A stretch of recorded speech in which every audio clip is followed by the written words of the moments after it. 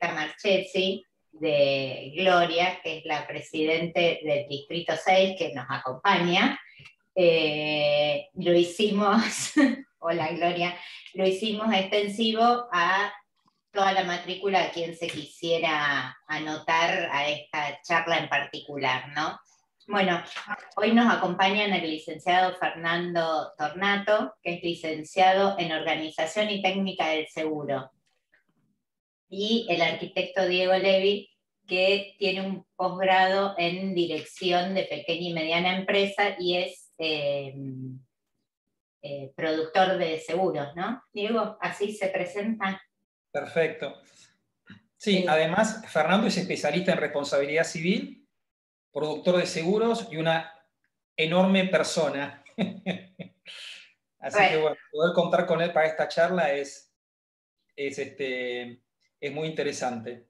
Me parece que se congeló nuevamente. Fernando, ¿vos nos escuchás?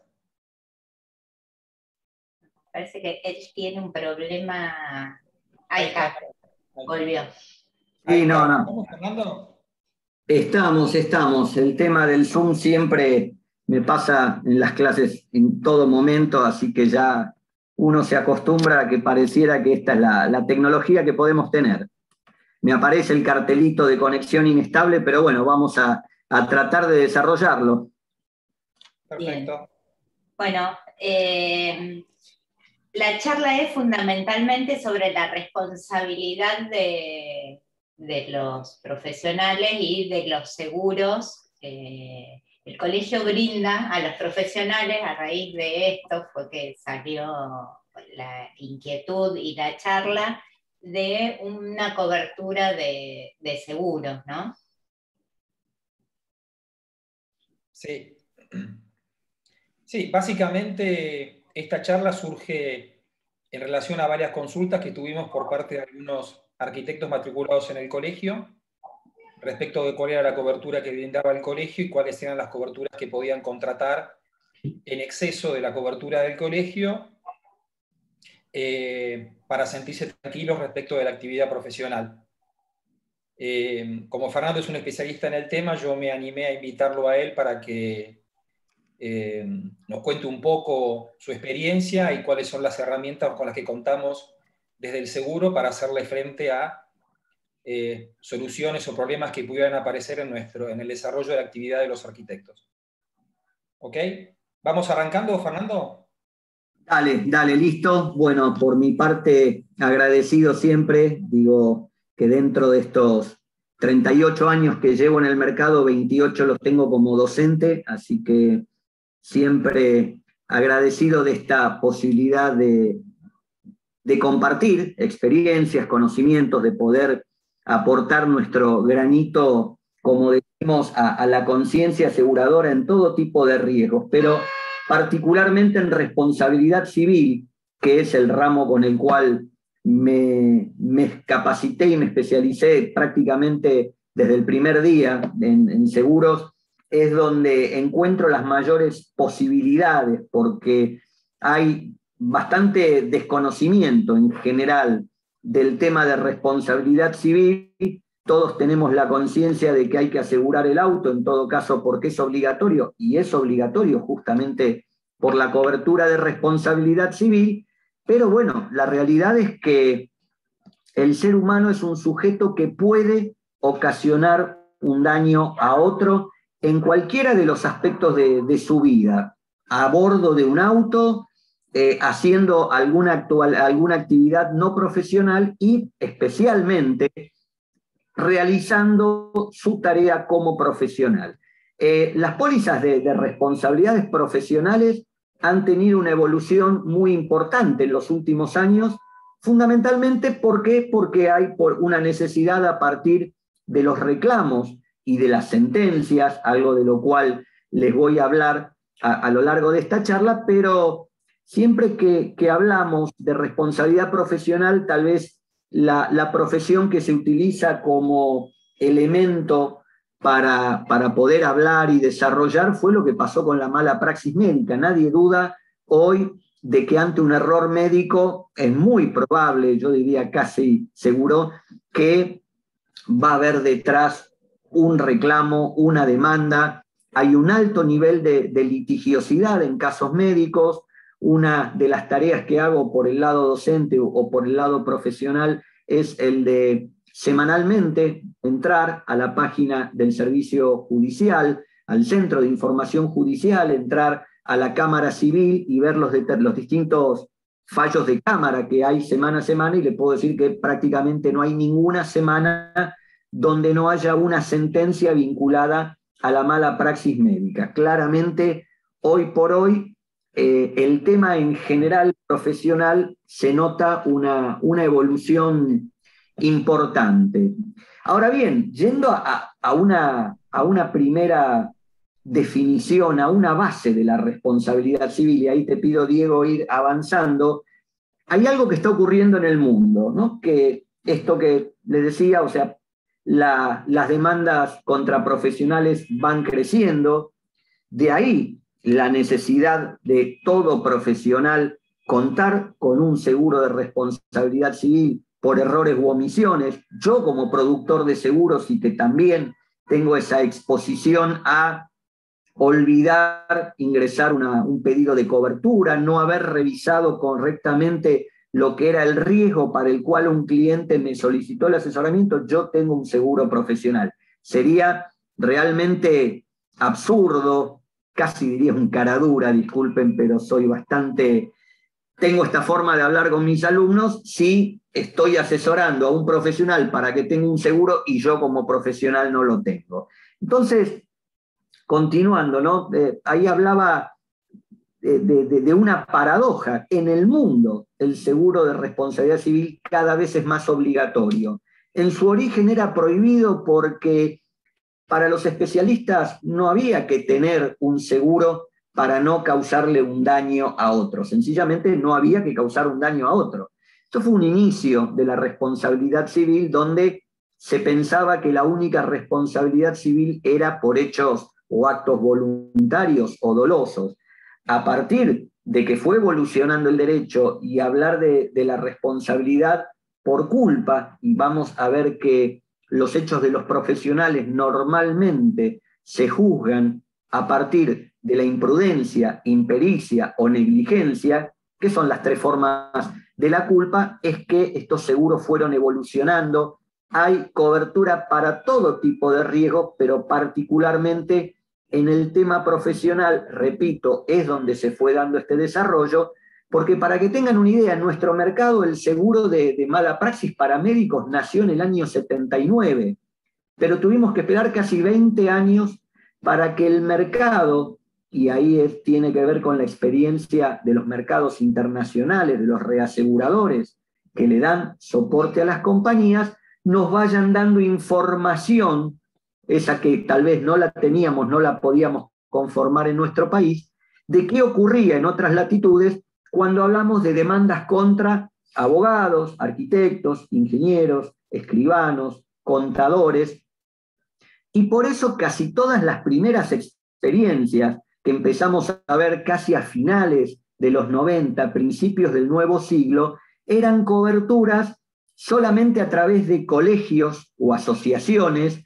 donde lo que la compañía de alguna forma se garantizaba era tener una cantidad de riesgos, pero no había en el mercado disponibles coberturas que más en forma individual, complementaria de lo que daban sus colegios o asociaciones, los profesionales pudieran tomar. Bueno, por suerte, ya hace algo más de 15 años que estamos en un mercado más conocedor del riesgo, más maduro si se quiere, donde también vamos a poder encontrar coberturas que nos sirvan, digamos, en, en exceso también de la que nos dan muchas veces los colegios. Por eso explicaba esta paradoja, ¿no? que alguna vez me planteaba un juez de cámara y me decía, mirá Fernando, esto empezó siendo obligatorio, eh, perdón, eh, prohibido, y hoy cada vez encontramos mayor cantidad de seguros obligatorios. Entonces, continuando con, la presentación, y,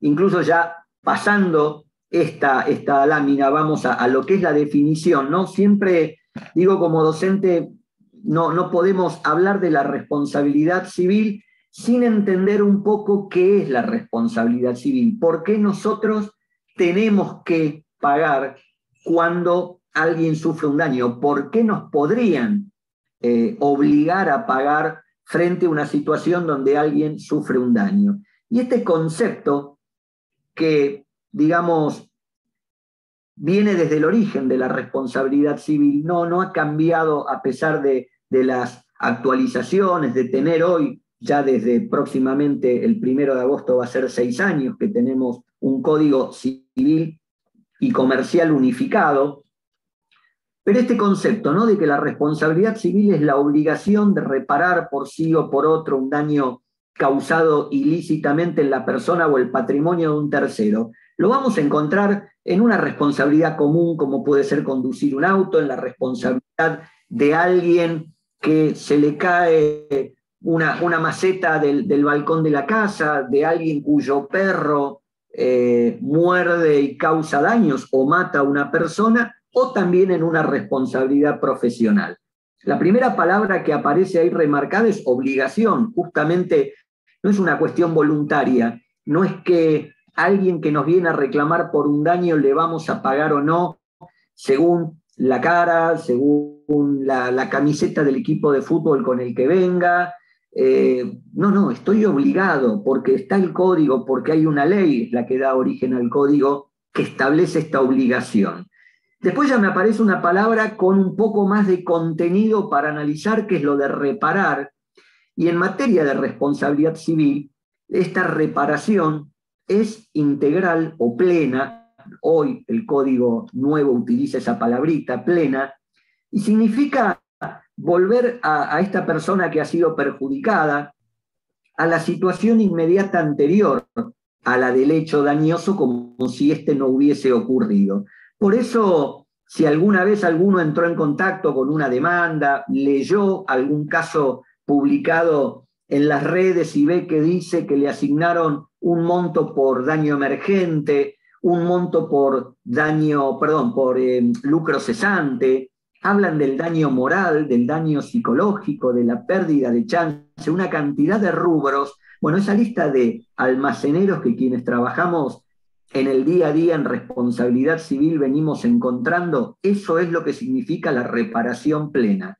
En tanto y en cuanto el damnificado pueda demostrar que efectivamente ha tenido ese perjuicio, no va a ser solamente arreglar lo que se rompió, para decirlo de, la forma más directa y entendible, sino también todas aquellas otras consecuencias que puedan haberse derivado sobre esa persona o sobre otras también afectada. También nosotros vemos que a veces cuando fallece una persona en un accidente de tránsito, se indemnizan las consecuencias a la viuda, a los hijos menores, etc. Por esto, este concepto de reparación plena, que, después lo vamos a, a concatenar con el tema de las sumas aseguradas, que lógicamente debe tener cualquier seguro de responsabilidad civil. Cuando dice por sí o por otro, bueno, hay una gran cantidad de situaciones en las cuales las personas resultan responsabilizadas, pero por hechos cometidos por personas por las cuales debe responder. Los padres responden por los hechos cometidos por los hijos menores de edad, los empleadores responden por los hechos cometidos por los dependientes, en ocasión y con motivo del trabajo, y en la responsabilidad profesional, según cada caso, también está el tema de que uno asume una responsabilidad, por ejemplo, como director de obra, pero no es uno el que hace cada una de las tareas de esa obra. Sin embargo, ese error que pudo haber cometido un operario, un obrero, un asistente, recae sobre el principal, quien tiene la responsabilidad profesional, por esto explicar a qué se refiere el código cuando habla de reparar por sí o por otro. Después aparece la mención del daño, y esto es clave hoy, porque un derecho como el civil, que en nuestro sistema apareció con el Código de Vélez hace casi 150 años, ha tenido una evolución permanente, no solo en nuestro país, sino a nivel global, a nivel mundial, donde cada vez más se pone el foco en la existencia del daño. Hoy, ya hace rato, quienes estudian en la facultad prácticamente no hablan de responsabilidad civil, hablan de derecho de daños, porque el daño como, como figura principal desplazó a todo lo otro, al punto de llegar a decir claramente que si hay un daño, alguien va a tener que repararlo. Hay eh, entrar a hablar de la ley de defensa del consumidor, donde el que vendió un chocolate es igualmente responsable que el que lo fabricó, sería un poco eh, em, excesivo, digo, para el contenido de la charla. Pero créanme que hoy son muy pocas, muy pocos los casos o situaciones en los cuales hay una persona que sufre un daño y nadie paga, nadie fue. Ya sea por la responsabilidad directa como culpable o por la responsabilidad indirecta como generador del riesgo, cada vez vemos más este tipo de casos. Alguien tiene que pagar. Y el ojo de la, justicia está muy puesta sobre la víctima, sobre brindarle algún tipo de protección a alguien que, como decimos, sin tener mucho que ver con el asunto, pudo haber sido perjudicado. Después habla ilícitamente, en realidad en materia civil se habla de los cuasi delitos, los hechos cometidos con imprudencia, impericia, negligencia, con dolo, claramente el dolo no va a ser objeto del seguro, pero es un delito, y también otras situaciones que no encuadran la generación de riesgo, no encuadran tanto en el tema que nos ocupa, que es la responsabilidad profesional que tiene características muy particulares. Y después dicen la persona o el patrimonio de un tercero, tenemos situaciones donde lo que hay mayormente o únicamente son daños materiales a cosas, pero también tenemos casos donde la responsabilidad es casi puramente de lesiones o muerte. Piensen en el caso médico, cuando un paciente sufre un daño, cuando un paciente fallece en una mesa de operaciones, no hay daño material. Siempre estamos hablando de lesiones o muerte, por eso tan especialmente analizada y, tan compleja la, la mala praxis médica. Pero bueno, con esta definición de responsabilidad civil inicial y que repito es común para cualquier tipo de responsabilidad que analicemos, ya podemos sí ingresar a, empezar a ver las características que tiene en concepto la responsabilidad en forma general y después la, particular. Una división histórica que, que, no admite, digamos, que se superpongan, o es una o es la otra, según quien sea el reclamante, es el hablar de la responsabilidad contractual y extracontractual. Hay profesiones donde coexisten ambas, hay profesiones donde siempre, por ejemplo, el vínculo médico-paciente en la gran mayoría de los casos es contractual, excepto alguna situación puntual que prevé el código como la que puede ser un médico que asiste a una emergencia en una calle, un médico que está asistiendo, por decirles, a una, una película en un cine, de golpe alguien se descompone empieza la gente, un médico, hay un médico, hay un médico, y ese médico interviene. Ese caso puntual eh, sería de responsabilidad extracontractual, pero en general tenemos casos de responsabilidad contractual. Y antes, esta diferencia era fundamental en el seguro y tenía complejidades porque en el código de Vélez, el que dejó de estar vigente en el 2015, para las acciones de tipo extracontractual, el plazo de prescripción era de dos años y la responsabilidad contractual era de diez. Una diferencia muy grande.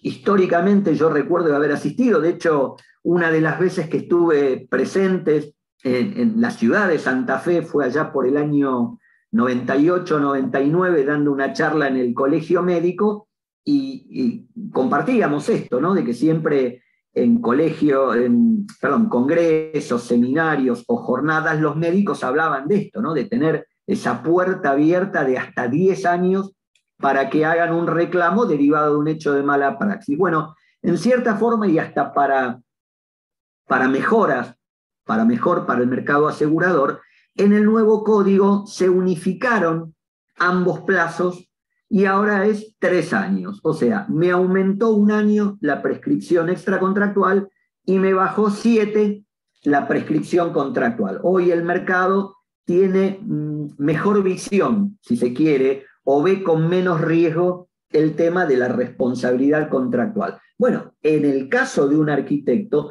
claramente tenemos la posibilidad de enfrentar dos tipos de hechos diferentes. La responsabilidad contractual, como, como dice la Filmina, tiene el origen en el incumplimiento de, de, un vínculo jurídico previo, que es lo que llamamos contrato, que une a las partes y que una de las partes no cumple. La responsabilidad contractual nace cuando se incumple en todo o en parte. Bueno, hay quienes sostienen jurídicamente que, aunque sea en una parte, estás incumpliendo todo el contrato y causando un daño o perjuicio a la otra. El, el típico caso de responsabilidad contractual de un profesional de la construcción sería la falla, la ruina o algún tipo de defecto en la obra que le fue, eh, que firmó el contrato y que le dio el, el comitente.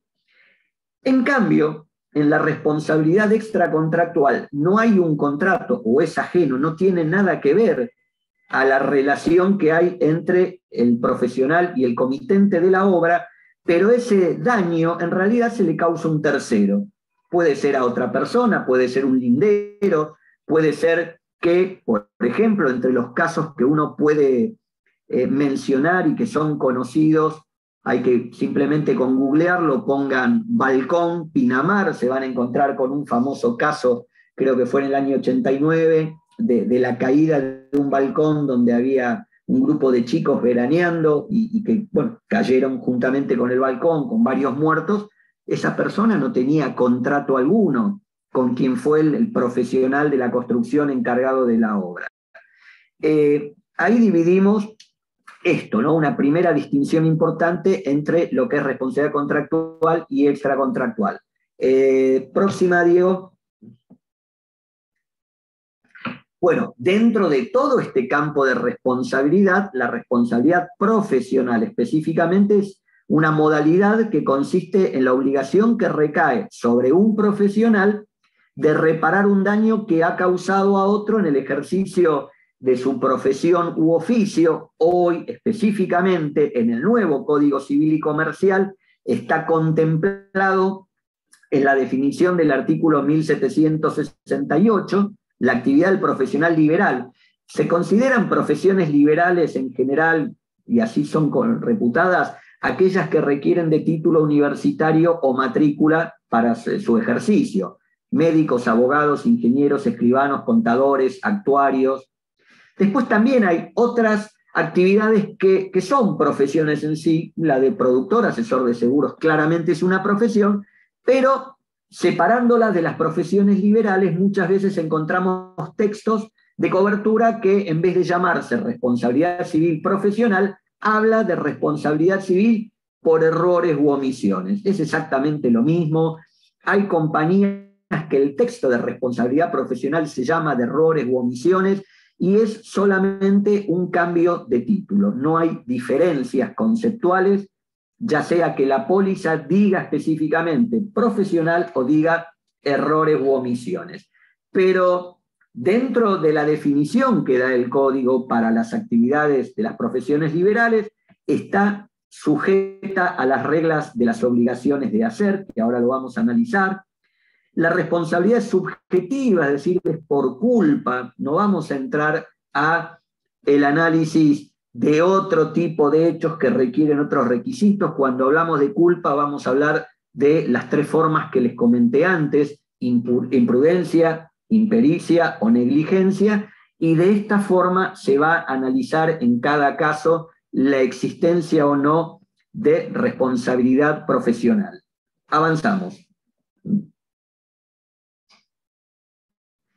Bien, esto es otro de los elementos que se toman en cuenta a la hora de definir si efectivamente ha habido un daño, el origen de ese daño y después también el análisis de la responsabilidad. Porque se habla de obligaciones de medios y de resultados, que esto es en cualquier situación o en cualquier contrato, y ahora voy a dar algún otro ejemplo.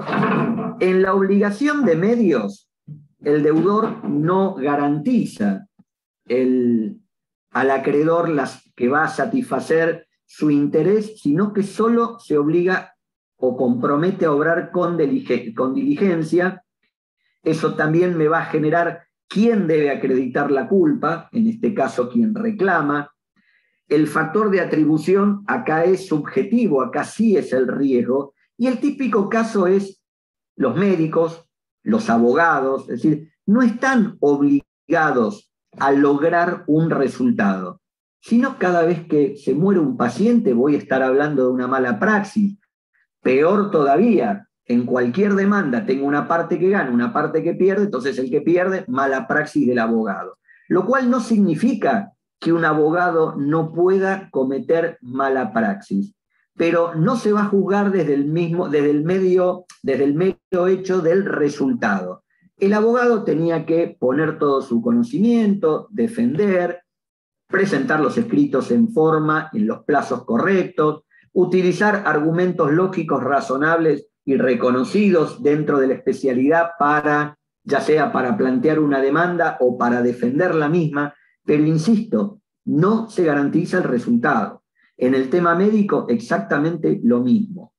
Ahora, ¿qué pasa en la obligación de resultados? El deudor garantiza la satisfacción de su interés, el cumplimiento de lo convenido, acá el factor de atribución es la culpa, que la va a tener que probar quien aduce, quien demanda, pero en el caso del profesional de la construcción queda claro que si yo hago una casa o hago una determinada construcción, la construcción tiene que estar bien hecha, no tiene que tener fallas. No tiene que decir el profesional, bueno, yo intenté, yo probé.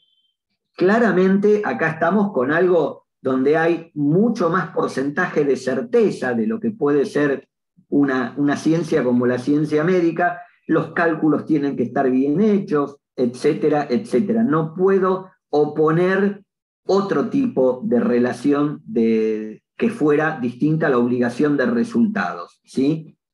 Eh, acompáñame con la próxima, Diego. Entonces, a partir de ahí, de entender cuáles son las distintas exposiciones, ya sabemos que estamos frente a una responsabilidad, al menos en su mayor parte contractual, pero también extracontractual, que estamos en una obligación de resultados, de resultados que también tiene que tener que ver con, por ejemplo, plazos de entrega de una obra. ¿Cuáles son las circunstancias más comunes respecto a las cuales un profesional de la construcción podría estar expuesto a un posible reclamo? Hay algunas que pueden ser, eh, uno diría, externas, una selección inadecuada de materiales. Después tenemos, bueno, lo que decía, el caso de daño a propiedad de terceros, donde ahí sí estamos en una, en una responsabilidad extracontractual, lesiones a terceros durante y después de terminada la obra, y lo que encajaría un poquito más en ese concepto de responsabilidad profesional que uno entiende, que es el, diseño inapropiado, los estudios inexactos y las asesorías incorrectas. Y, y esta parte en realidad es la que conforma el núcleo de la cobertura de responsabilidad profesional. A lo largo de, mi carrera siempre he dicho que hay dos coberturas que particularmente resultan difíciles de, no de explicar, tal vez de plantear. Una es el seguro de vida, porque en realidad le estás recordando a la persona que tarde o temprano se va a morir, y, y es algo a lo cual todos naturalmente cuando nos hablan de esto, tendemos a ir hacia atrás, ¿no? A, no reconocer o a no aceptar eso. Y la segunda es la responsabilidad profesional, porque recordarle al profesional que se puede equivocar, como cualquier ser humano, lo primero que va a decir es, no, yo no me equivoco. Me pasó con los médicos también. Y digo, mismo en mi profesión encuentro colegas que todavía les resulta difícil aceptar la posibilidad del error y tener su cobertura créanme que no hay nada mejor que de alguna forma uno pueda descansar un poquito más en, este mundo tan loco y actual y correr y plazos y cosas que, tener un seguro profesional. Entonces, en estos últimos tres ítems, ¿no? los diseños inapropiados, los estudios inexactos o las asesorías incorrectas, encontramos digamos, el núcleo de lo que debe ser una cobertura de responsabilidad civil eh, profesional. Continuamos, Diego. No sé qué es esto. Ahí está. Y ahora, dentro de lo profesional, digo, bueno, el seguro de responsabilidad civil profesional, o conocido como mala praxis, se considera mala praxis en la actuación culposa de un profesional con impericia y en contra de, lo que es la, la, lex artis de su especialidad, puede ocurrir por actuar de forma irregular, omitir ciertos cuidados que forman parte de los estándares y principios reconocidos para su actividad profesional, por el cual se produce un perjuicio a la víctima. En el caso particular sería en cualquiera de las fases de trabajo de una profesión. Repito que acá tenemos algunos conceptos comunes a todos. De hecho, los primeros textos que aparecieron de responsabilidad en nuestro país eran aplicables a cualquier profesión, solo lo, lo que llevaban era un determinado clausulado para que sea aplicado a cuál era la profesión, pero digamos el texto base inicial, por eso acá habla de evaluación, planificación, diagnóstico, acción o seguimiento como los momentos o etapas donde un profesional puede pisar el palito, meter la pata y, en definitiva, que estemos frente a un hecho de responsabilidad profesional. Próxima.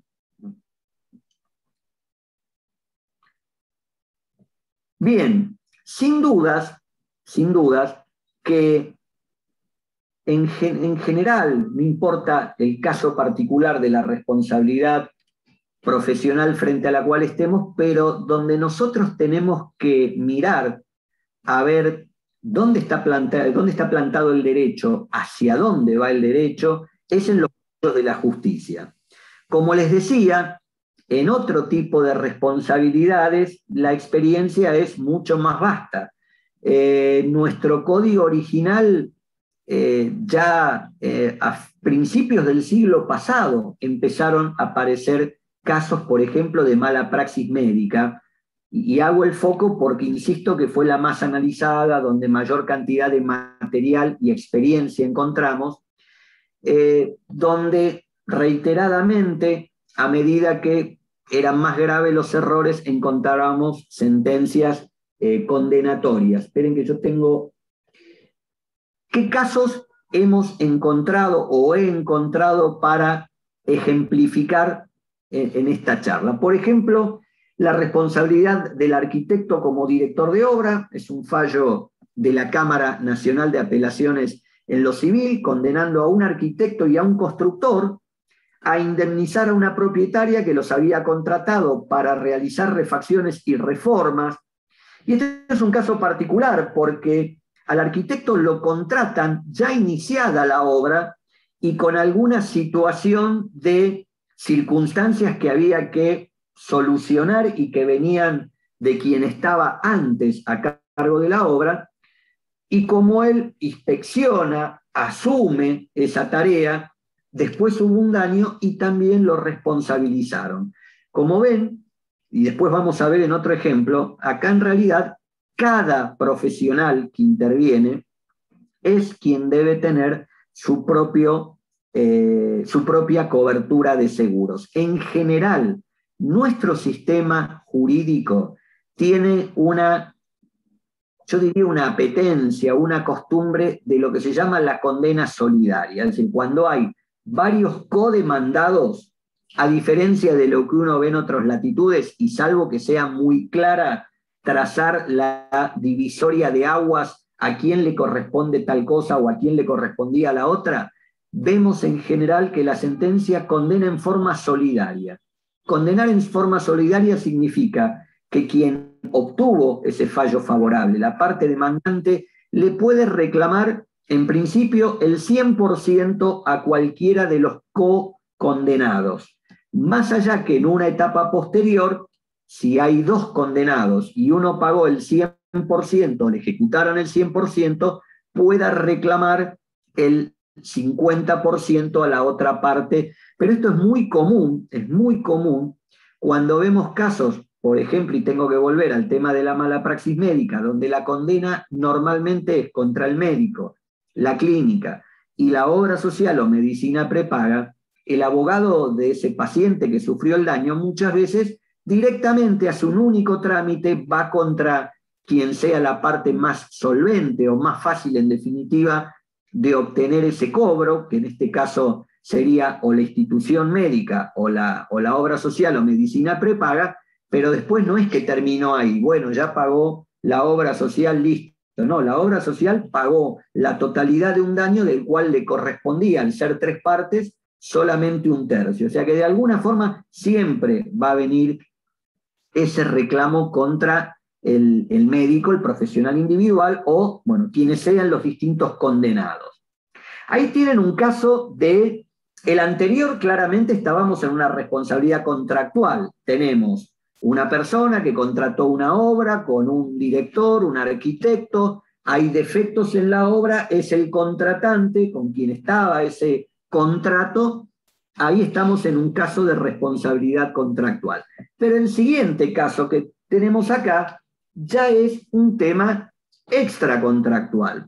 En una obra se hace una casa, pero pegaron la medianera, aparentemente quedó en el medio un, espacio hueco por el cual se pudo filtrar humedad. El tercero, de nuevo, vecino, pero ajeno al contrato, no tenía relación contractual con eh, los arquitectos, hace una demanda por ese daño y en este caso, bueno, la demanda fue contra el dueño de la propiedad que se estaba construyendo y los arquitectos que diseñaron esa obra. También, no lo aclara acá, pero eh, se trató de una condena solidaria, que tenían que afrontar esa condena por partes iguales. Y repito, acá estamos frente a un ejemplo de lo que es responsabilidad extracontractual. Vamos al próximo. Este fue un caso que, recuerdo en particular, que, hasta generó un poco de, ruido, porque en este caso también hubo un, derrumbe del inmueble construido eh, y la sentencia fue solidaria contra el constructor y el arquitecto, y claramente acá estamos en una responsabilidad contractual. Pero este caso ocurrió abril del 2012, no sé si alguno recuerda acá en la ciudad de, Buenos Aires, sobre todo en la zona del Gran Buenos Aires, esto fue en Semana Santa del 2012, hubo tornados de una magnitud inusual. Si alguno tiene algún conocido, familiar o, amigo en la zona Morón, Ituzaingó, Castelar, toda esa zona del corredor del oeste, yo después vi, tengo, tengo familia y vi las consecuencias de lo que era esto. Uno veía carteles, techos de estaciones de servicio hechos poco menos que un bollo de papel maché, carteles, árboles tirados por todos lados. La verdad que la magnitud fue importantísima. Pero acá colapsó directamente una, una casa, no colapsaron todas las casas, sí hubo daños en techos, pero digamos la magnitud del colapso llevó a entender al dueño de la casa que ahí lo que había era un error de diseño y obviamente que esto tiene que haber surgido de una pericia especializada, porque en definitiva la Cámara Civil y Comercial de Morón condenó, repito, al constructor y al arquitecto por, esa, por ese derrumbe de, esa obra, más allá de que ocurrió en, momentos donde había un fenómeno meteorológico de, una magnitud inusitada y no habitual en la zona.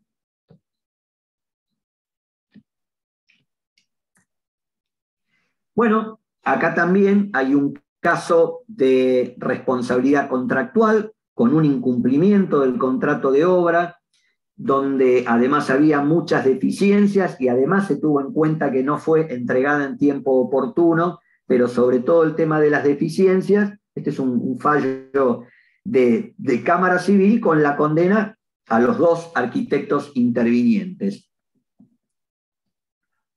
El, caso que sigue, que también tiene que ver con, con responsabilidad propiedades vecinas, era una sentencia de la ciudad de Buenos Aires, del Foro Especial Civil y Comercial de la ciudad, también, en este caso, la propietaria, em, empresa propietaria del edificio y el arquitecto, en uno de los departamentos de la planta baja del lindero, volvemos a estar en el ámbito de lo que es la responsabilidad extracontractual, alguien ajeno al contrato, tuvo que mudarse por un tiempo, alquilar en otro lugar porque la casa estaba en un estado inhabitable. Y lo que dice, bueno, será, no, la indemnización fue pagada por las dos aseguradoras porque tanto la empresa constructora como el arquitecto responsable tenían una póliza de responsabilidad civil, cada una por su cuenta, con sus sumas aseguradas, pero bueno, acá vemos lo que es en definitiva la utilidad de contar con este seguro. En un ratito vamos a hablar de las características y de las sumas aseguradas, pero claramente eh, cualquier cobertura de responsabilidad civil en principio lo primero que nos va a dar es una protección ante una situación como puede ser un reclamo. Eh, vemos la próxima, Diego. Y este es un caso también ya eh, hablando de la responsabilidad del arquitecto como guardián de la obra que dirige, donde también hay vicios de la construcción, presencia de humedad en cimientos. Él tiene la obligación, dijo el fallo, de hacer corregir esos defectos o resarcir en la medida del costo de la reparación, porque por más que el artículo 1647 del viejo Código Civil, esto estaba o fue fallado con un hecho anterior al 2015, por eso se tomaba el código anterior, hablaba solamente del empresario cuando se hablaba de la responsabilidad por la obra, dice, no significa que siempre estuviesen excluidos de responder el proyectista o el director técnico. La verdad que simplemente googleando uno puede encontrar numerosos casos donde la justicia, por un u otro tipo de daño, condenó a profesionales en el arte de la construcción. Ahora bien, fíjense, porque ahora tenemos que hablar algo de montos, ¿no? Porque realmente hoy por hoy uno de los aspectos más conflictivos de la, de la responsabilidad civil es el monto, cuánto tengo que contratar un seguro. Y sé distingo, digo geográficamente, ustedes están en Santa Fe, pero yo les quiero mostrar esto, ¿no? un ejemplo de una, una jurisdicción donde desde hace años se viene trabajando y mucho en la protección de los posibles damnificados. La ciudad de Buenos Aires debe ser una de las jurisdicciones que mayor cantidad de seguros obligatorios tiene. Yo le voy a hacer un repaso muy rapidito. Arranca en el año 81, cuando época todavía de, gobierno militar nació la obligación de asegurar los daños por calderas. En aquel entonces había habido muchos casos de accidentes por explosión de calderas, además que se había dado en particular en la ciudad de Buenos Aires un fenómeno de reconversión de las calderas que por aquel entonces funcionaban a fuel oil, ahora pasaban a funcionar con la red domiciliaria de gas, fue la época donde desaparecieron los incineradores que teníamos en muchos edificios. Este edificio donde yo estoy está construido de esa época y todavía tenía el famoso pozo para tirar la basura en el sótano. Los edificios quemaban la basura a través de los incineradores.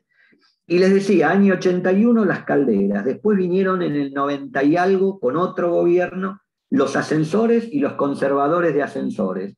Y dentro del ámbito de la ciudad tendríamos que agregar carteles, letreros, toldos y marquesinas, em, los volquetes en la vía pública, los boliches, algo que nació después de Cromañón, empresas de seguridad o custodia, vigilancia, conos sin armas, y tenemos todo este enorme campo de lo que son los seguros de responsabilidad civil por obras. insisto que estamos en una, en una ciudad que ha trabajado mucho en este tema de seguros obligatorios. Y vuelvo sobre aquello de la paradoja que hablaba al principio, ¿no? donde en su momento, en su origen, allá por el 1700, hablábamos de un seguro prohibido y hoy cada vez más vemos más y más seguros obligatorios, ya sea a nivel nacional, desde hace 25 años es obligatorio el seguro de las escuelas por los daños que sufran o causen los alumnos, y tenemos jurisdicciones como esto, ¿no? A veces es difícil de explicar que uno cruza una avenida como es la General Paz y del otro lado de la provincia no hay tantos seguros obligatorios o los, los hay por otras sumas.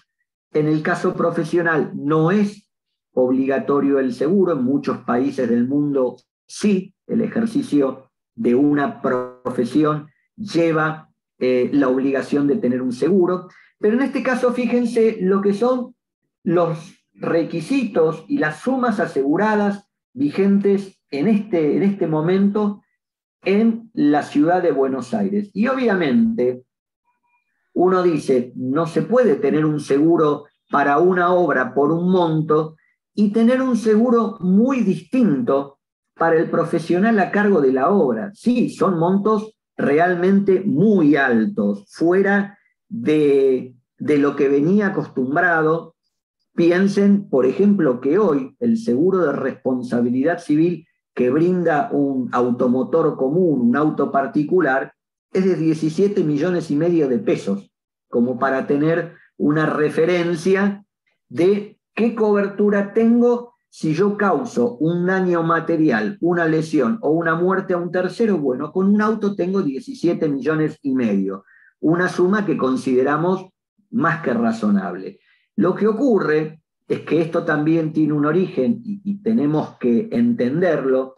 Este seguro de responsabilidad por obra, que nació hará seis o siete años con una suma de 3 millones, en aquel entonces 3 millones era el límite de la RC Automotor Común, de la Responsabilidad Civil Automotor, quien pergeñó esto en la ciudad justamente en la exposición de motivos de la resolución, dice pongo 3 millones porque advierto que 3 millones es la suma asegurada que tiene cualquier automotor común que circula en la ciudad, con lo cual considero que es eh, un límite razonable y que además era fácil de conseguir la cobertura. Solamente como anécdota le digo que todo el mercado tuvo que poco menos que barajar y hacer de nuevo porque este tipo de sumas no existían en el seguro de obra, no estoy hablando del profesional, simplemente en el seguro de obra no había estos límites habituales de cobertura, motivó que, el mercado tenga que salir a buscar eh, mayores límites en los contratos de reaseguro para poder brindar la cobertura localmente. Pero esto decía dónde fue el origen. Recordemos que hace unos cuantos años la ciudad de Buenos Aires tuvo un par de eventos trágicos vinculados a demolición, excavación o derrumbe. Primero, eh, un caso de un gimnasio en, en. En realidad la obra se estaba llevando a cabo al costado de, estaban haciendo un pozo para la construcción de un edificio y obviamente sin la sumuración correcta, sin las medidas o con algún error de cálculo, donde de golpe tocaron con, una excavadora una parte del, lindero, se derrumbó ese gimnasio, creo que fueron dos o tres los muertos. Este fue uno de los casos. Y el otro caso, también con, con un edificio, en este caso una edificación muy antigua, en la calle Bartolomé Mitre al 1100, que también fue noticia eh, en los medios, en la televisión, etcétera. Hoy todavía se puede googlear y encontrar derrumbe edificio Bartolomé Mitre, también a partir de una construcción grande que se estaba armando en, en el terreno lindero, donde este edificio tenía, no sé si 80 o 100 años de antigüedad, también ocurrió lo mismo en un momento, una grieta llegó a salir la mayor parte de la gente, creo que lamentablemente quedó alguien que falleció y se ocasionó el derrumbe de ese edificio. Por eso, fíjense los valores que tenemos y que incluso, por ejemplo, el caso de obras de demolición exige tomar de mínima eh, el concepto de eh, obra media. Es decir, una demolición en la ciudad de Buenos Aires, aunque sea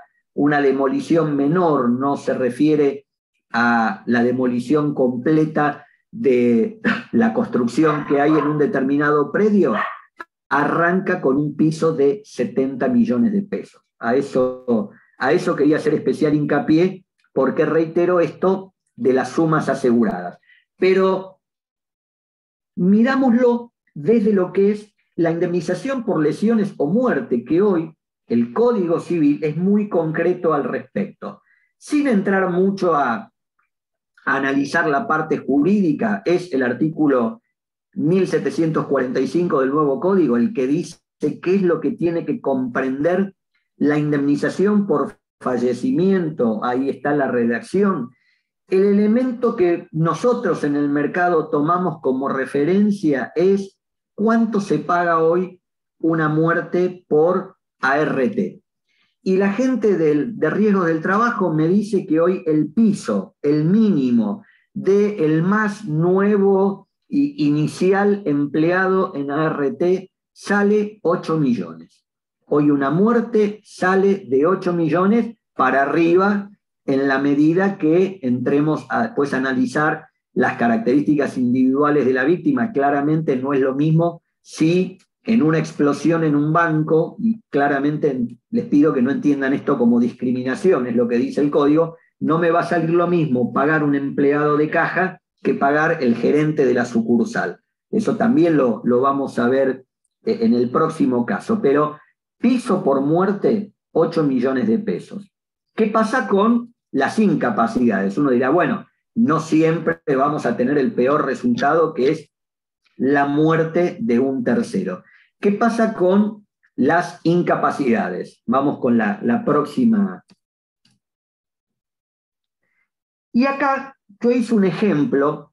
Ahí el artículo correspondiente del Código Civil y Comercial que me fija, porque lo pone en forma imperativa, cómo debe indemnizarse una incapacidad total y permanente, ya sea porcentual o total, es el artículo que sigue, el 1746. No, no lo quisimos transcribir eh, en forma íntegra, pero particularmente lo que trató este código, porque el anterior no me decía cómo había que determinar esa indemnización, me decía que todo el que ejecuta un hecho que por su culpa o negligencia ocasiona un daño está obligado a la reparación del perjuicio, nada más. Pero el nuevo código trató de ser más concreto, incluso para darle certeza, porque me está o está estableciendo la obligación de utilizar fórmulas.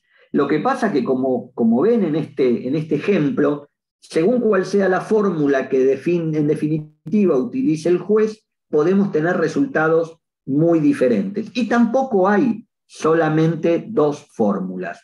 Debe haber siete u ocho y queda a criterio del juez si va a utilizar la más o menos favorable a la víctima. Pero fíjense este caso, hay algunas páginas jurídicas donde uno encuentra, si uno quiere googlear y pone fórmula, Buoto y Méndez, va a encontrar un calculador que sirve para que uno juegue como para, para hacer estos números, donde se pone la edad de la persona damnificada. En este caso, por ejemplo, sería la persona a la cual le cae un balcón en la cabeza, el grado de incapacidad y cuál era el sueldo, porque la realidad, en principio, el código establece una indemnización en función de lo que produce la persona. Alguien podrá preguntarme, ¿qué ocurre cuando la persona no está produciendo. Ejemplo, ¿qué ocurre? Hace poco nos tocó analizarlo en un seminario en un daño que sufre un chico en una escuela. Tiene 15 años y todavía no trabaja. No hay sueldo, no hay ingreso. ¿Qué ocurre con si esa persona que sufre un daño en ese momento está desempleada, no tiene trabajo, está buscando trabajo, pero no tiene un sueldo de referencia? ¿qué ocurre?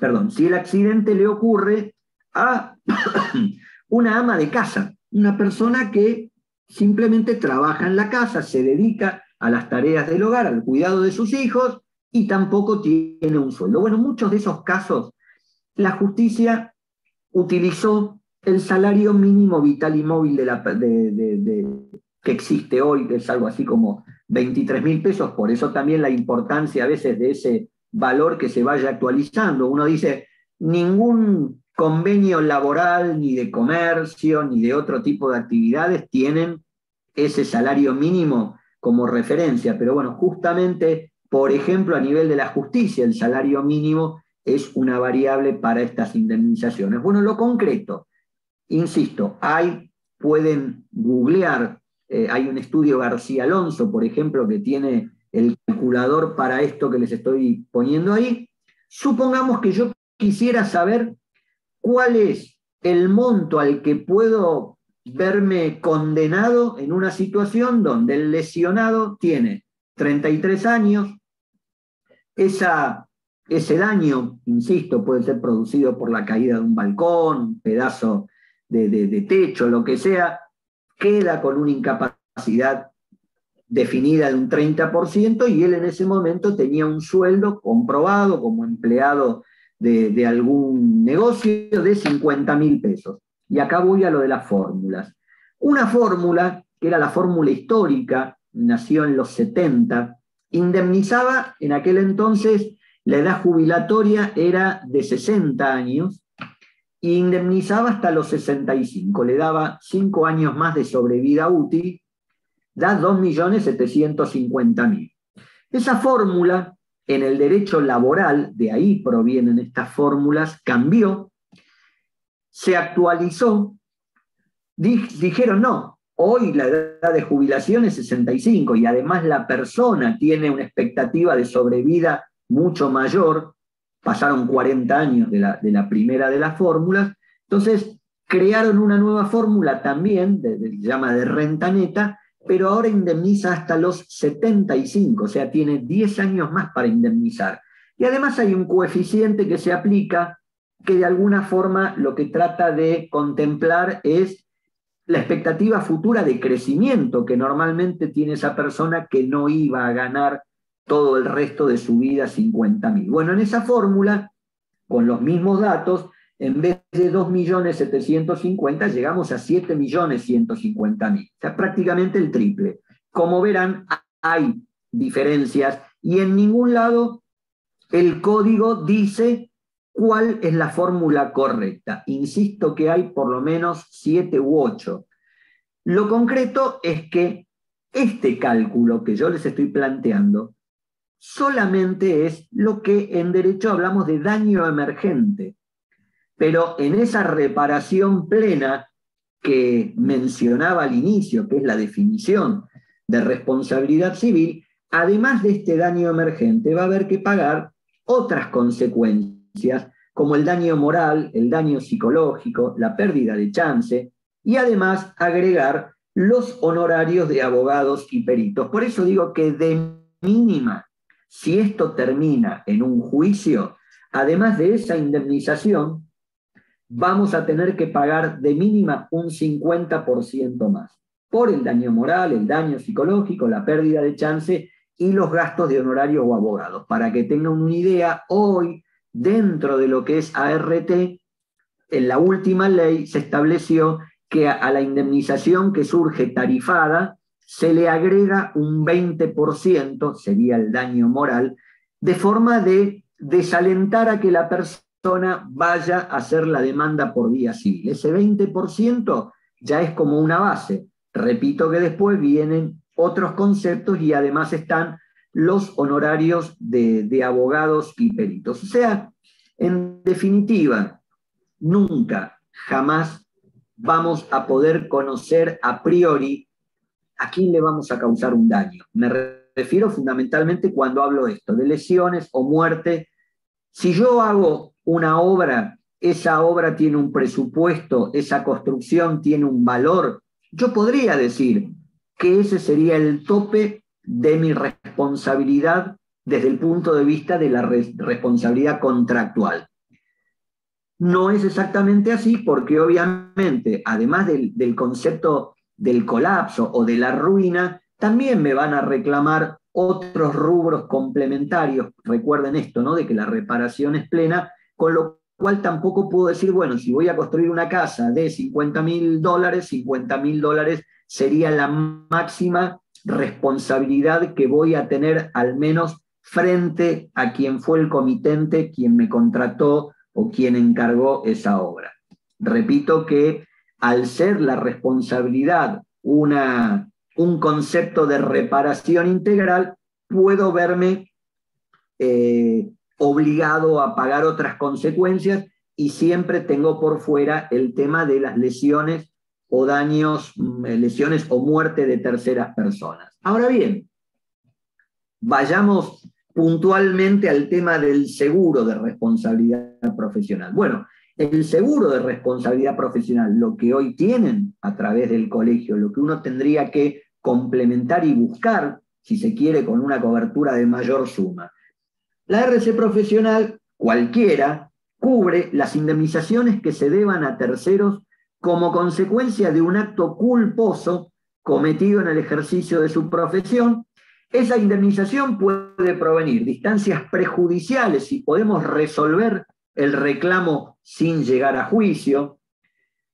Puede ser por acuerdo ya, incluso aunque esté planteado el juicio, puede haberse llegado a la instancia de mediación previa o puede surgir de sentencia, que siempre sería el peor de los supuestos, porque ya cuando hay sentencia ya tengo honorario, ya tengo perito, tengo intereses, normalmente hay una tasa moratoria o compensatoria a manera de sanción, eh, con lo cual siempre lo mejor es poder resolver antes. Hoy el mercado asegurador tiene casi medio millón de juicios, fundamentalmente de responsabilidad civil. La gran mayoría es automotor. El tema en la gran mayoría es que no se pusieron de acuerdo, no hay discusión acerca de la responsabilidad de quien manejaba el auto, que atropelló al de la moto. Con eso no hay duda. El tema es que no se terminan de poner de acuerdo cuánto pretende una parte y cuánto pretende la otra. Ahora, la gran mayoría, yo también actúo como perito en la justicia y, y la realidad, la gran mayoría de los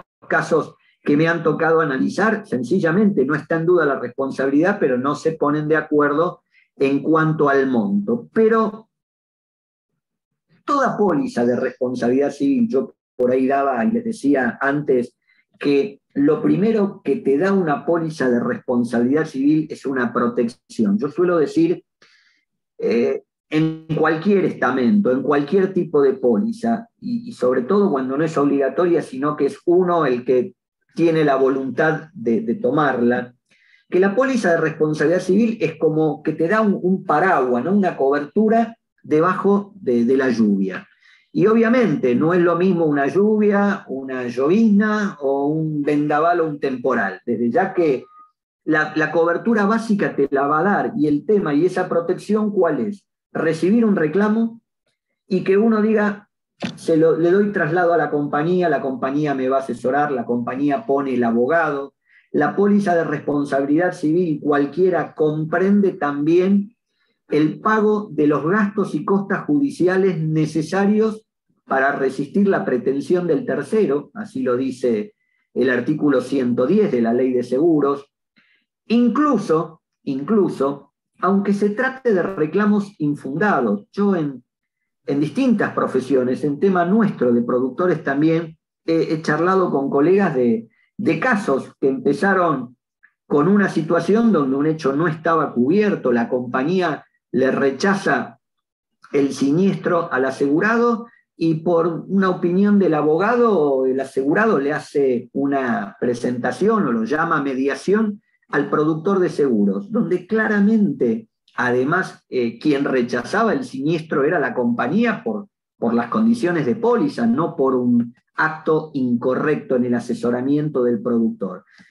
Y yo decía, fíjate qué útil, ¿no? Que es tener una cobertura de responsabilidad civil, porque aunque vos no tengas ninguna responsabilidad, y esto en definitiva después caiga en, en saco roto, pero el mero hecho de una mediación extrajudicial, significa que vos tenés que presentarte, tenés que ir con un abogado. Yo tengo infinidad de abogados amigos después de tantos años de trabajar en esto, pero créanme que por más amigos, ninguno me va a venir a una audiencia de mediación, como diríamos vulgarmente en, la calle, por el pancho y por la coca. Que yo tengo un reclamo ya significa de arranque que si no tengo un seguro, yo tengo que agarrar, meter la manito en el bolsillo, empezar a sacar unos cuantos billetes, nada más que para ir a escuchar qué es ese reclamo, qué es lo que reclaman, cuál es la validez, y aun cuando después el reclamo resulte rechazado,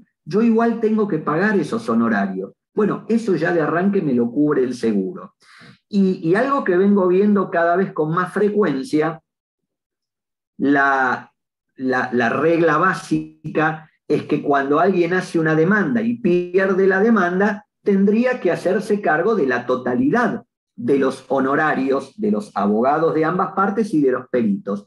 Pero ya me he encontrado en más de alguna situación donde la justicia dice, bueno, en realidad la persona podía entender que tenía un derecho a reclamar y que había alguna duda sobre el objeto de esa demanda, entonces en definitiva dice, bueno, voy a poner costas por su orden. Y costas por su orden significa que yo, que no tenía nada que ver en definitiva y que salí excusado por la justicia, le tengo que pagar los honorarios a mi abogado. Y esos honorarios muchas veces se terminan regulando en, monto, en base al monto reclamado.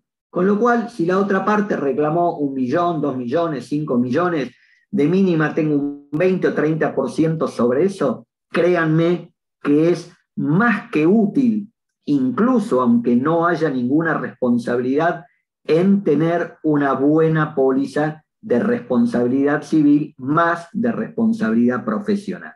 Así que, siguiendo con, con las últimas que nos van quedando, ¿qué es lo que uno recomienda en cualquier seguro? En cualquier seguro, y ahora voy a hacer el, foco en lo que es esta póliza o en lo que es un seguro profesional.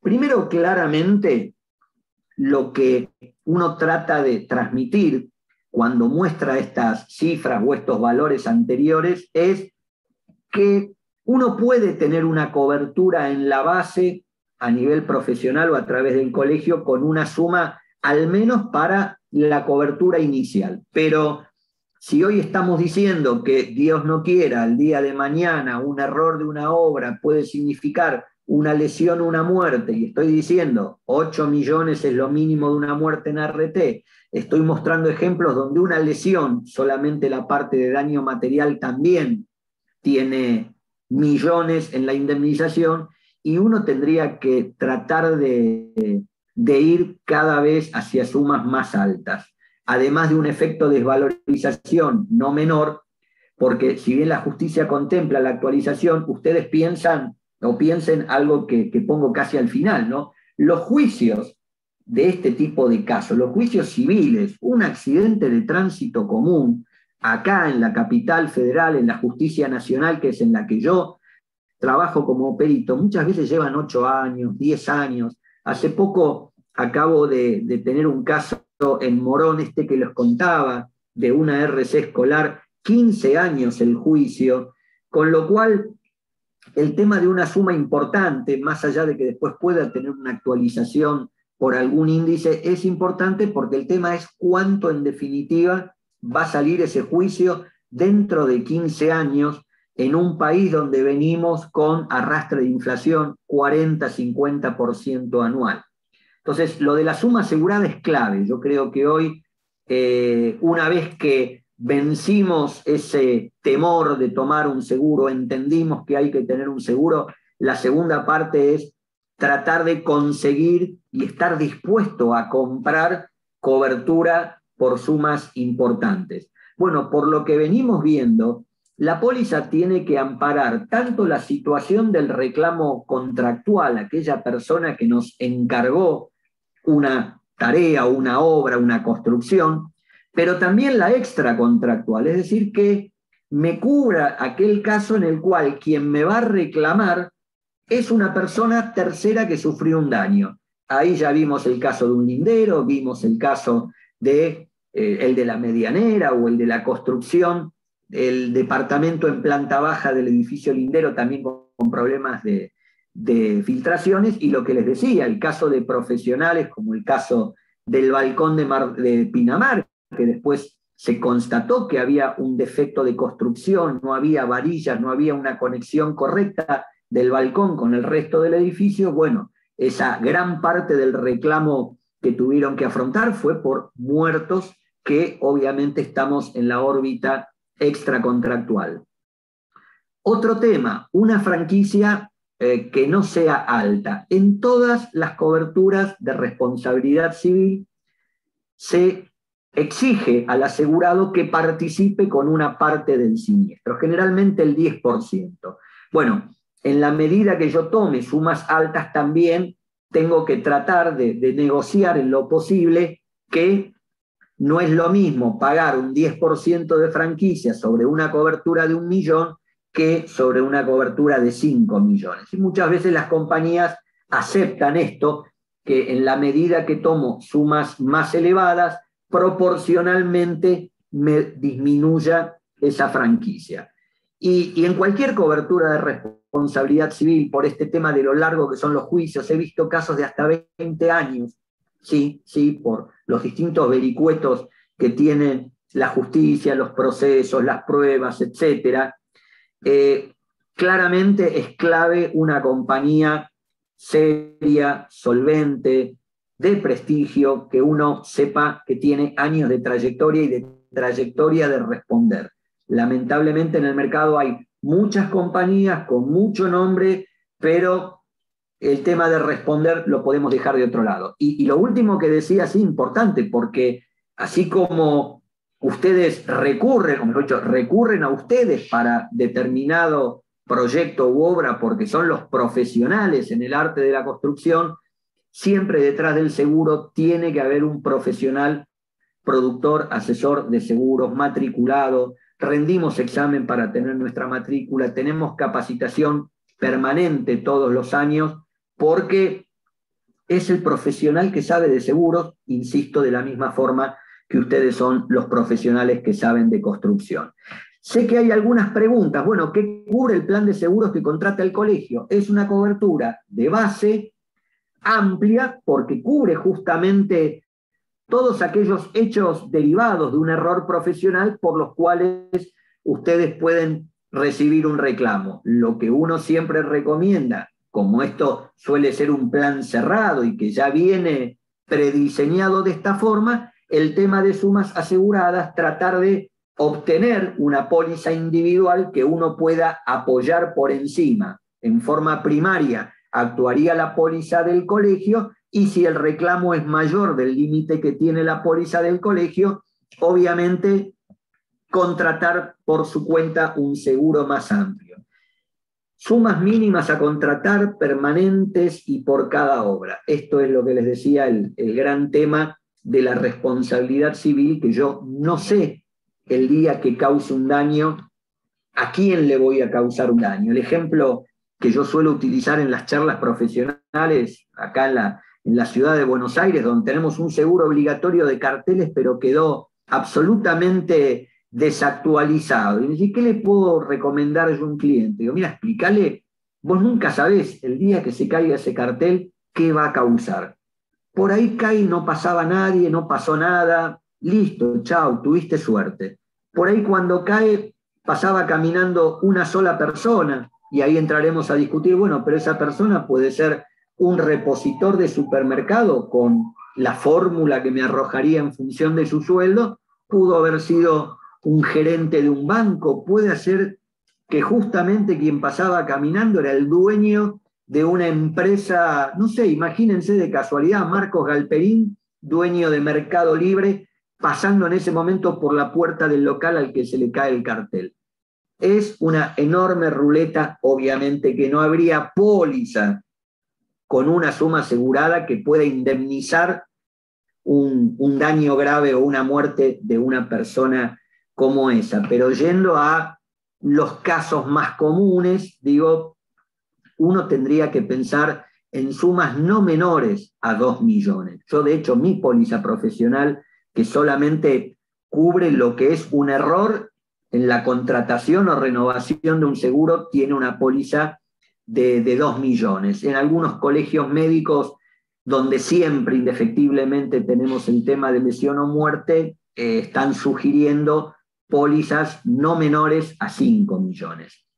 ¿Por cuánto tiempo se contratan los seguros? No, el seguro profesional es anual, como es el seguro del auto o de otro tipo de actividades. El que tiene un negocio y quiere cubrir la responsabilidad de que cuando entre una persona al local no sufra ningún daño, no se le caiga un artefacto de luz o un aplique o algo en la cabeza, no le pase nada cuando está ahí, la póliza es anual. Y en el caso profesional, cubre la totalidad de las obras de distinto tipo, pero en definitiva que tengan que ver con un actuar profesional que tenga ese arquitecto o ingeniero. ¿Quién se hace cargo de estos seguros? El seguro siempre lo tiene que contratar el profesional. Y esto tiene que ver con estar verdaderamente cubierto. A uno le pueden decir que el seguro está incluido dentro del que contrató el comitente de la obra. Primero, no sé la suma asegurada. Segundo, no sé las condiciones de póliza. Tercero, no sé con qué compañía está cuando hablaba del tema de la solvencia y que por ahí después haya un daño y tenga que estar 8 o 10 años en juicio y hablando mal y pronto cortando clavos a ver si el día que en definitiva salga la sentencia la compañía todavía existe o no. Cuarto, ni siquiera tengo certeza de que efectivamente el tipo paga mensualmente la cuota de ese seguro. El único seguro que me da certeza y garantía de las condiciones es el que contrata uno por sí mismo. Eh, seguros contratar para una obra menor. Sí, eh, ahí tengo, Ludmila me está preguntando, sí, sí, las pólizas profesionales cumplen o cubren todo lo que el profesional hace en el plazo de cobertura que, repito, tiene normalmente es de un año. Piensen en un médico. La póliza de un médico no distingue la responsabilidad si es cuando actúa en un sanatorio, cuando actúa como parte de la cartilla de una obra social o medicina prepaga, o solamente cuando él eh, actúa en su propio consultorio. La mala praxis médica le cubre absolutamente todo y así funcionan también el resto de las responsabilidades profesionales.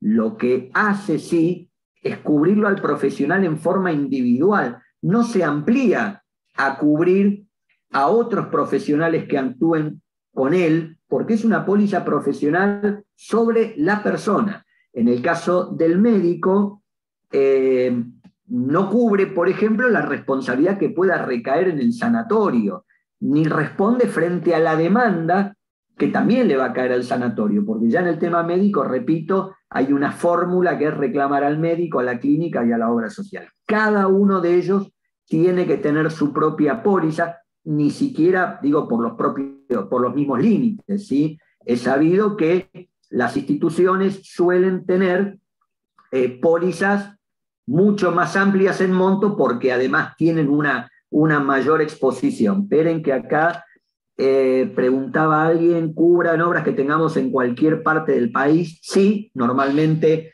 las pólizas profesionales tienen ámbito de cobertura República Argentina, no delimitan a que uno únicamente tenga que realizar obras en tal o cual circunscripción. Eh, por supuesto que uno siempre tiene que tener la póliza, siempre tiene que tenerla, ahí lo, comentaban varios. ¿Y eh, qué debemos hacer en caso de un reclamo? Esperen que se me fue la pantalla, esto de tocar lo que no corresponde.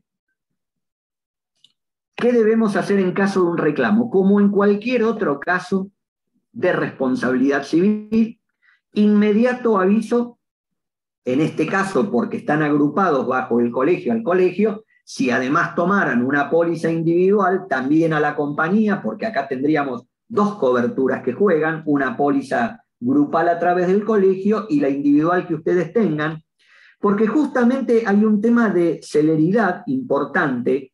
Cuanto más rápido se intervenga en cualquier tipo de reclamo, es más sencillo el poder desactivar todo lo que viene después, toda esa pelotera jurídica que no, que vamos a juicio, que, los cuatro, cinco, ocho, diez años, cuanto más rápido, siempre y cuando estemos dentro de un reclamo que sea razonable, eso lo va a evaluar la compañía, pero ante la primera noticia que alguien me dice, che, ¿sabes que eh, en la casa me apareció una, grieta o estoy viendo algún problema eh, constructivo? Bueno, más allá de que uno se ponga en contacto con su cliente, lo vea, lo analice y hasta incluso, aunque diga, no, esto está bien, no hay ningún inconveniente, no importa, ante la duda, plantear a la compañía, mira, hay un, hay un posible reclamo porque tal persona me hizo tal, tal cosa, me dijo tal cosa, me hizo un reclamo. No nos cobran, no nos sancionan, no hay eh, ninguna penalidad por hacer un reclamo preventivo. Al contrario, de hecho, la ley de seguros dice que el asegurado debe denunciar el hecho del que nace su eventual responsabilidad dentro del plazo de tres días de eh, conocido o que debía conocer el hecho. Y en cuanto a la última, que tiene que ver con cómo se define mi responsabilidad. Y esto queda en un juicio de peritos, la realidad. Alguien va a venir a plantearme que yo, profesional, hice algo mal, construí mal, que hay defectos, que esos defectos son propios de un error de diseño, de cálculo, de proyecto. Yo le diré que no, la compañía me va a defender y va a decir que no, que sí o qué es lo que pasó, pero supongamos que digamos que no. Y la realidad que las responsabilidades profesionales cuando se llevan a juicio terminan siendo definidas por la pericia que realiza un perito de oficio designado. Y acá puede haber muchos casos de ustedes que actúen o estén inscritos como peritos ante la justicia. Yo trabajo como perito en la justicia, va a ser 30 años en causas de seguro y he intervenido en cantidad de, casos el juez no se va a poder apartar de las conclusiones del perito por el simple hecho de que él es juez y no perito, es ignoto en la materia. Cuando en un caso de una mala praxis médica se condena a un médico, es porque hubo un perito médico que eh, contestó el cuestionario presentado por las partes y en algún punto valoró que había algo que el médico demandado había hecho en forma incorrecta, que no había tomado aquella vía de acción más recomendada, que había omitido, tal vez con carácter previo, hacer algún tipo de estudio o, sugerir algún análisis, por el cual, en definitiva, después terminamos en un hecho donde un paciente sufrió un daño o murió. Pero nunca el juez, que repito, no entiende nada de esto, se va a apartar de las conclusiones del informe del perito de oficio. La pericia es el elemento clave en todo juicio. Con lo cual, bueno, ahí es donde podemos entender cómo, en definitiva, se, definiría esta responsabilidad. ¿sí? No sé si hay alguna pregunta adicional eh, o alguna otra, Diego. Yo no tengo ninguna pregunta, Fernando. No sé, Gabriela, si vos tenés algo por ahí que te hayan preguntado o alguien quiere preguntar algo. No, yo no tengo solo las que te mandamos, que ya fueron, y las que fue leyendo Fernando en el chat, así que... Bueno, si alguien, si alguien se anima a preguntar, si no, nos liberamos a Fernando porque tiene ahora que dar clase. Y yo sí, ahí nos preguntas. El, email de contacto lo, compartimos, Diego, con vos por cualquier eh, duda o, consulta en particular. Yo lo que veo, las otras preguntas apuntaban más a que el colegio, si podía eh, compartir el texto o, para que lo vean, ¿no, Gabriela? Pero ya eso un poco más por ustedes. Sí, se puede mandar por mail eh, la póliza o creo que está en la página también. Tendría que buscarla y después mandar el link. Sí, pero además yo les puedo pasar el texto de la presentación, Gaby, para que todos puedan leerlo y repasar lo que vimos. Respecto, antes del cierre, alguien pregunta por el costo. Obviamente, como en cualquier otra cosa, y uno diría, no te sale lo mismo un kilo de azúcar que cinco de diez, y esto es eso. Uno lo que tendría que agarrar y plantear para conocer un costo y de, bueno, teniendo como cobertura básica la que me da el colegio, yo quiero comprar una cobertura adicional de X suma, bueno, ahí es donde, en función de, la suma y de las condiciones, eh, podemos establecer o se puede establecer cuál es el costo para esa cobertura. Había una pregunta que creo que la respondieron, que dice, ¿la póliza del colegio ya nos cubre pagando la matrícula o tiene un costo aparte? O sea, ya estamos cubiertos con el seguro del colegio. Diego, vos me parece que lo dijiste en un momento que era un seguro básico, ¿no? El que ya cubre. El colegio tiene contratada una póliza de mala praxis profesional con la compañía de seguros Sancor. Es una póliza eh, de muy buena calidad, la compañía es de excelente calidad. Es una póliza que tiene una cobertura baja, es como una cobertura base de 300 mil pesos. Sobre eso, habría que contratar, cada profesional debería contratar un adicional por encima de esta cobertura.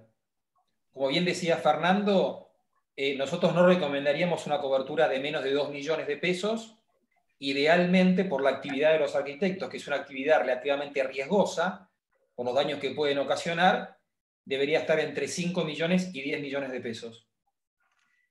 Y, la última que me surge como, como tema profesional, tengo que entrar a mi, a mi, clase habitual de los lunes. Alguien pregunta por ahí, eh, creo que era Cecilia, si el seguro tiene que estar vigente al momento del reclamo o cuando el error o falla sucedió. Y justamente en el seguro profesional existe una modalidad que es la que se utiliza para todas las profesiones, que se llama Claims Made, en la cual primero tiene que estar el seguro vigente en el momento que se cometió el acto de, error profesional, pero además esto lleva a una continuidad en la contratación porque tiene que estar vigente al momento que ocurra el reclamo. Por eso también la importancia respecto de las sumas aseguradas, porque lo que se va a tener en cuenta es la suma asegurada vigente al momento del reclamo.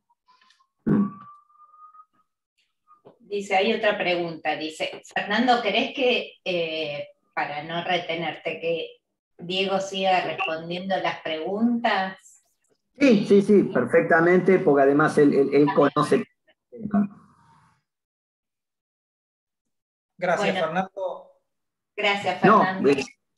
gracias a, todos ustedes, insisto que siempre como docente es, es, un gusto poder tener esta posibilidad de, bueno, tratar de clarificar algo sobre, sobre esto de la responsabilidad civil, que en lo particular es, es un tema, ya les digo, lleva, va a cumplir conmigo en un par de años 40 años y, seguimos aprendiendo todos día a día. Así que gracias por la invitación.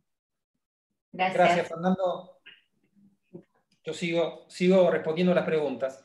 Yo te voy leyendo. Dice si el seguro que que tiene el, que, brinda el colegio, que el colegio tiene contratado, ¿no? Como un, servicio como eh, que brinda a los matriculados, dice si nos cubre, eh, si nos pasa algo a nosotros mismos, ejemplo, un accidente en una obra, una quebradura, ¿ese, ¿el seguro lo cubre? ¿O es solo de mala praxis? No, el seguro que tiene contratado el colegio es una cobertura de responsabilidad civil profesional o mala praxis profesional y como bien decía Fernando, cubre solamente los daños que nosotros le ocasionemos a nuestro comitente. Bien. Em, ¿Ese seguro del colegio sirve para hacer visitas de obra? No, va. Sí, sí, sirve para hacer visitas de obra siempre y cuando seamos nosotros los que estamos contratados, ¿no? Claro. Y hay otra pregunta que dice eh, cómo se llama el seguro a contratar además de que contrata el colegio. O sería, esto te lo pregunto yo, o sería una ampliación suficiente. Bueno, déjame que retomo la pregunta anterior.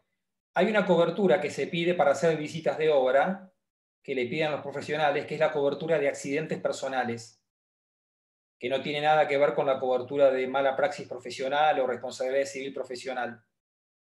La cobertura de accidentes personales muchas veces se pide para entrar a obra y es una cobertura que cubre un daño que pueda tener el profesional físicamente. Si al profesional le cae un ladrillo en la cabeza, si se tropieza, si se clava un clavo en un pie, esta cobertura de accidentes personales cubre los daños físicos o lesiones que pueda tener el profesional. No tiene nada que ver con la cobertura mala praxis profesional. ¿Cuál era la otra pregunta, Gabriela? Dice, bueno, ¿cómo se llama el seguro a, eh, a contratar además del que... Sería como es el nombre del seguro. El seguro es un seguro de mala praxis profesional, como dice el título de la presentación. Se llama responsabilidad civil profesional o mala praxis profesional. Y básicamente lo que deberían contratar es una cobertura adicional a la que ya les da el colegio. Claro. Como siempre, recomendamos que sean una buena compañía y que se asesoren con algún profesional matriculado para hacer las cosas bien, ¿no? Claro. Dice, en la, página del colegio está la, la, la, póliza, pero hay que, hay que ponerla de este año todavía. Está desactualizada, pero pueden ver cómo era. Eh, dice, los reclamos... El texto de póliza, Gabriela, de la, póliza del año pasado es el mismo al de este año. La cobertura no cambió. Eh, lo que sí cambia es la suma asegurada porque este año se llevó a 300 mil pesos, se duplicó. Porque y se va actualizando, ¿no? Cada año ustedes la van actualizando. Claro. Em, así que la pueden ver en, la página del colegio. Después hay otra pregunta que dice, ¿los reclamos cuánto tiempo después pueden tener curso? ¿Cuánto tiempo, ¿Hasta cuánto tiempo se puede esperar para hacer un reclamo? ¿no?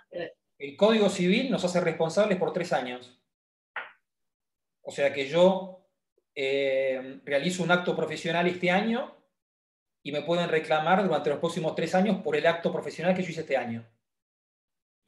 Eh, esta no la vas a poder responder porque dice, en la, Diego es de Buenos Aires. En la, provincia de, en la provincia o en la ciudad de Rosario hay seguros obligatorios como en Cava, sí para la presentación de permisos hay seguros obligatorios. Eh, en la página de la municipalidad, dentro de los requerimientos que tiene eh, la municipalidad para sacar un permiso, y antes de empezar una obra, uno de los requisitos es el, seguro. Antes de seguir... Eh, Gabriela, ahí es muy importante tener en cuenta que una cosa es cumplir con la norma y otra cosa es protegernos. Entonces, muchas veces el seguro obligatorio no es suficiente. Ahí nosotros como profesionales tenemos que entender la exposición que tenemos, la protección que queremos tener y analizar si lo que nos obligan a contratar es suficiente según nuestro criterio. Claro. Fíjate que en la ciudad de Buenos Aires hay límites cerca de 90 millones de pesos, ¿no? Son límites altísimos. Sí. Acá me parece que no es tanto. Bueno. Em, antes que nada, tiene, eh, eh, está en el chat los beneficios que la, la, póliza y los beneficios que tienen esas pólizas. lo pueden buscar con el link que está en el chat. Y los que son, los que están haciendo, escuchando la charla por el curso de nuevos matriculados tendrían que dar la asistencia que ya eh, está, que en alguna de, las preguntas estaba. Y después dice, al pagar la matrícula como habilitados, automáticamente tenemos ese seguro o hay que hacer algún trámite para habilitarlo. No, automáticamente lo tienen. El colegio actualiza permanentemente la nómina, ya sea de nuevos matriculados o cualquier profesional que se integre nuevamente a la matrícula. Eh, todos los meses la compañía recibe actualizaciones, así que eso es un proceso automático. Hay otra pregunta que dice, ¿cubren casos que durante el proceso de diseño y proyecto el cliente reclama incumplimiento con, incumplimientos contractuales? casos de demora en tiempos de ejecución de proyecto a su criterio inaceptables o solo durante la ejecución de la obra? No, locura profesional en todo su desarrollo profesional. Desde el momento en que inicia la relación contractual con el cliente, eh, obviamente que la demora, hay que, hay que demostrar que la demora es injustificada, ¿no? No puede ser un capricho, por así decirlo, del comitente, pero si hay una demora injustificada y eso le generó un perjuicio al comitente, puede reclamar y la cobertura va a asistirlo. Em, ¿Se sella el seguro? ¿Qué significa si se sella? Eh, será como cuando se sellan los contratos, supongo la pregunta. Mm, no, no, no, entiendo la pregunta. Eh, si, tiene que tener un timbrado, no, porque la, ah. póliza la, emite la, compañía de seguros. La, emite la compañía de seguros, es exactamente igual que contratar la póliza de mi casa o contratar la póliza del auto. Eh, cada actividad profesional requiere completar un formulario. En este formulario se piden datos básicos que necesita tener la compañía para entender el volumen del riesgo. No es lo mismo un profesional que hace eh, dirección y ejecución de obra de grandes proyectos y maneja varios miles de metros cuadrados por año que un profesional que hace refacciones menores o construye viviendas unifamiliares. Esta es información que la compañía va a requerir para poder cotizar y por supuesto la suma asegurada. Dice, ¿qué valor aproximado tiene un seguro por 2 millones de pesos? De cuota. Depende de, depende de una cantidad enorme de, factores.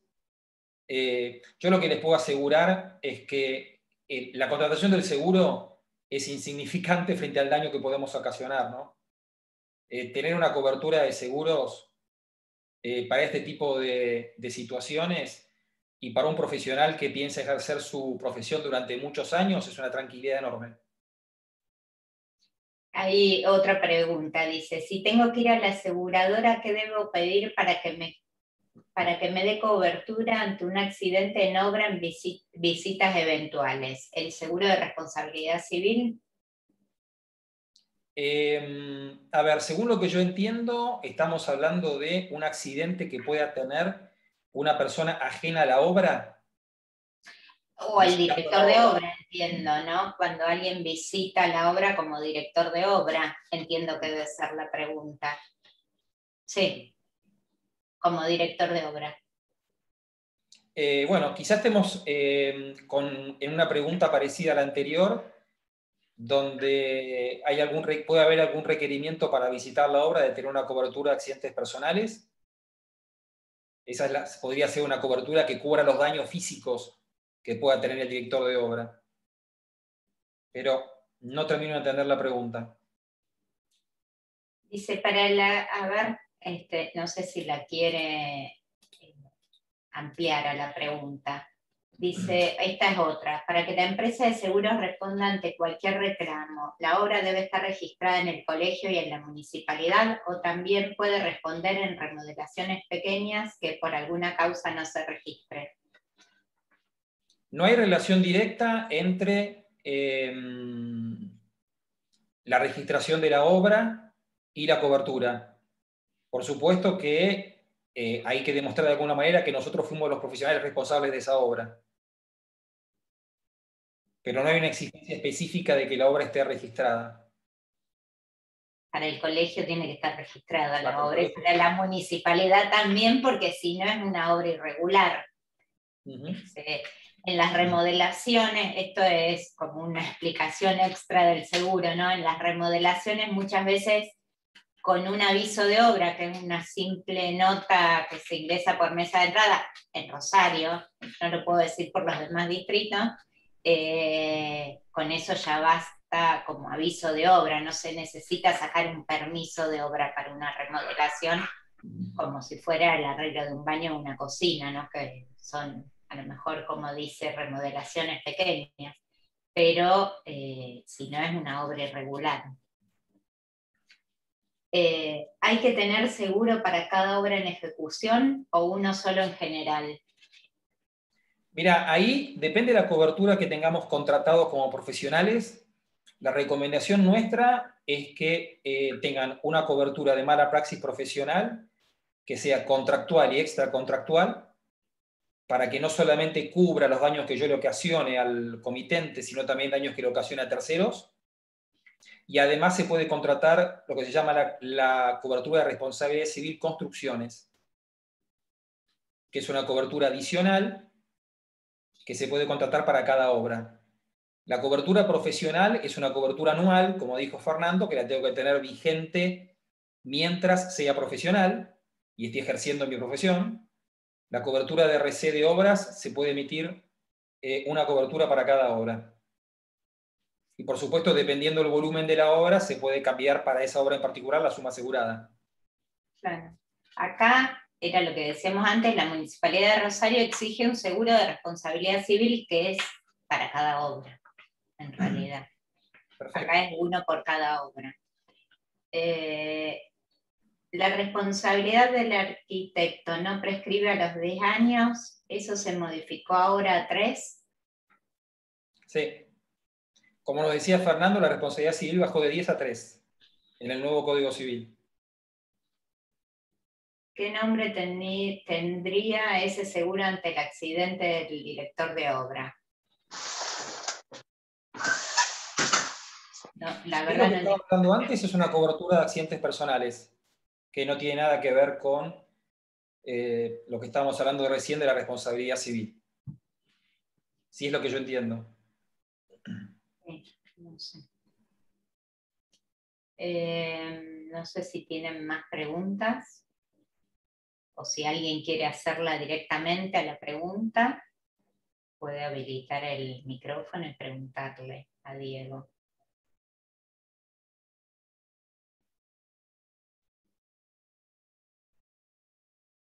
¿Desde qué momento empiezan a correr los tres años? Hola. Hola, sí. Eh, no, le quería hacer la pregunta porque yo tengo una obra en un country y el country pide seguro pero no entiendo cuál es el seguro, el seguro del director de obra, independientemente de los empleados que están trabajando que ya tienen su seguro. Yo como director de obra, ¿qué seguro tendría que tener ahí? Ese es el que no, no entendía bien. Mm. Perfecto. en primer lugar, eh, Julio, en primer lugar lo que te recomiendo es que preguntes exactamente en el barrio qué es lo que te están pidiendo.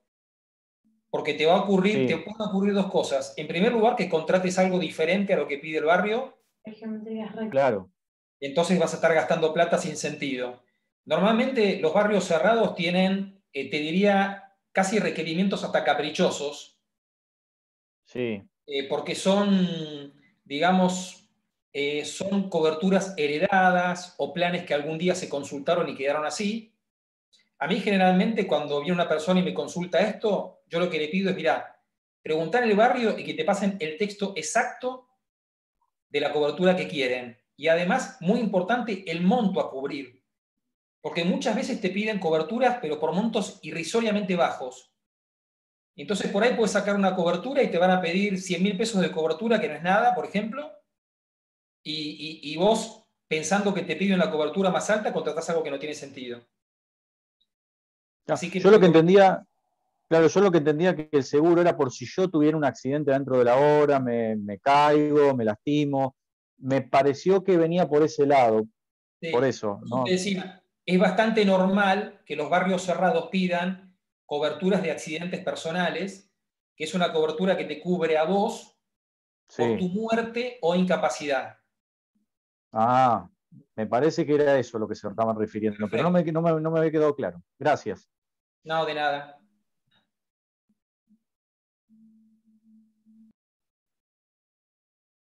Estaba silenciada. Ahora también lo que podemos hacer es pasar tu mail por si quisieran hacerte alguna consulta puntual o más o en un futuro poderle consultar a él directamente sobre algo puntual. Dale.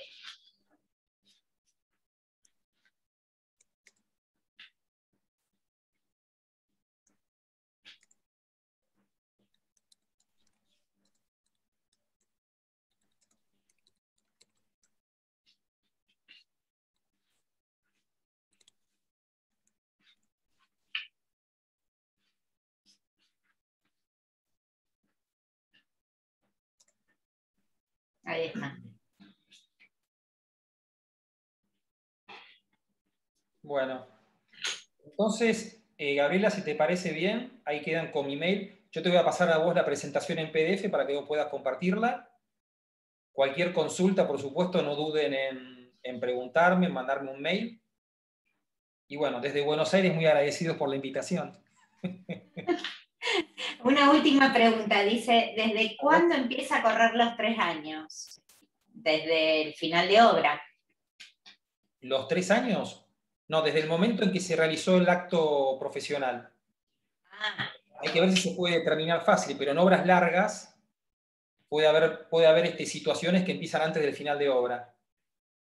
ah, claro. ¿Ok? Es un periodo, de todas maneras, entendamos que es un periodo relativamente largo, porque la verdad que tres años para que aparezca una humedad, para que se, doble una viga, o para que aparezca este, algún problema, eh, es un periodo relativamente largo. Bien. Bueno, eh, ya salió la. Si miran más arriba en el chat, está el link para la, para la asistencia. Y también había una pequeña encuesta, si querían responder, eh, ahí está la asistencia nuevamente, para preguntas, porque como hay quienes participan del curso de nuevos matriculados y quienes no, por eso la diferencia de los de las asistencias. Pero no sé si tienen más preguntas, alguna puntual o nada más. Bueno, Gloria, que te debe querer saludar, Diego. Gloria, ¿cómo andás? ¿Qué tal? Buenas noches a ustedes, Diego, Gabriela. Gracias a ustedes y por supuesto buenas noches, buenas noches para todos los participantes. Y bueno, quiero agradecerles porque nos dieron la posibilidad de participar a, a todo, a, todo el distrito, el distrito 6 acá de Reconquista y por supuesto a todos los distritos de la provincia.